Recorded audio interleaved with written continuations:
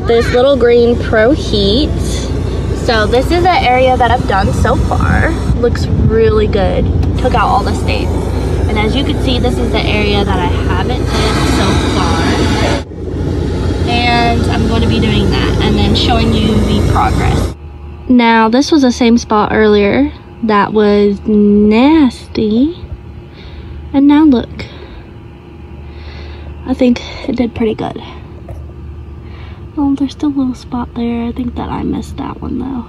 I don't know if that's how it's drying.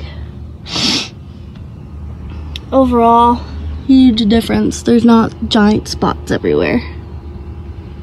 Giant spots everywhere.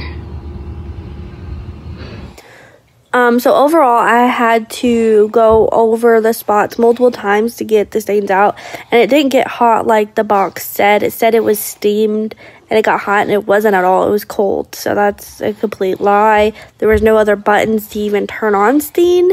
Steam, the the area looked like it was trying to get steamy, but it never did, and I had it on for well over an hour.